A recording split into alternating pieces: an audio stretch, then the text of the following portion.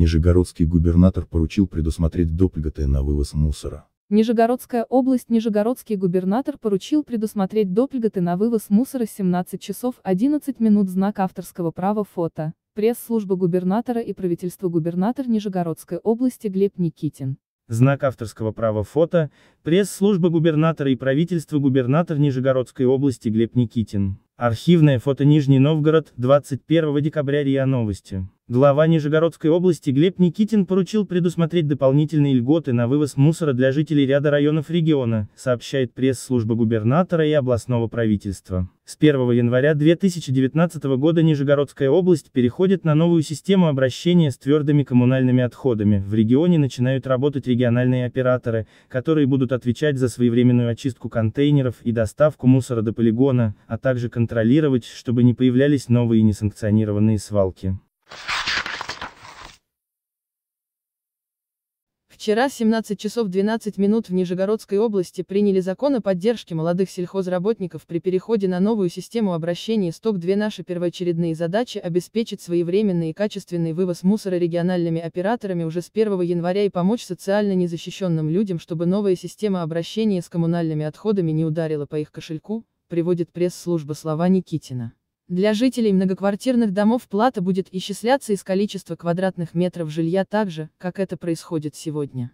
Жители частного сектора будут платить исходя из числа проживающих. Такое решение защищает от существенного роста коммунальной платы пожилых людей, проживающих в одиночку в частном доме на селе, отмечается в сообщении.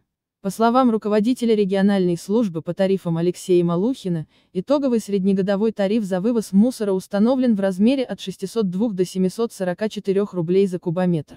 Для горожан ежемесячная плата за вывоз мусора увеличится в среднем на 1 рубль с квадратного метра. Рост платы граждан по всем коммунальным услугам, включая ток, составит менее 5%.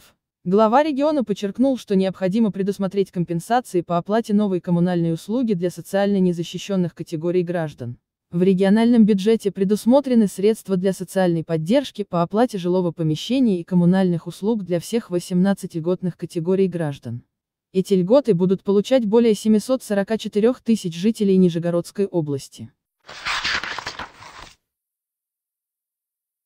12 декабря 17 часов 13 минут Нижегородская область получит на наци-проекты почти 60 миллиардов рублей. Я считаю, что этого недостаточно, и меры поддержки должны распространяться не только на льготников, но и на тех жителей области, кто проживает на территориях, где тариф выше среднеобластных значений, отметил Никитин и поручил подготовить предложение по ведению таких дополнительных компенсаций. Кроме того, региональному Министерству энергетики и ЖКХ совместно с Газжилинспекцией предстоит проанализировать платежки, которые жители получат в конце января, домоуправляющие компании обязаны уменьшить в них строку содержания жилого помещения, вычтя из этой суммы свои затраты на вывоз мусора. В Нижегородской области построено 5 современных комплексов по обработке и размещению отходов. Эти объекты обслуживают территории, где проживают 73% жителей региона. После сортировки материалы, которые подлежат вторичной переработке, направляются на утилизацию на заводы Нижегородской области и соседних регионов. Никитин поручил собрать с региональных операторов предложения по созданию кластеров сортировки и переработки коммунальных отходов.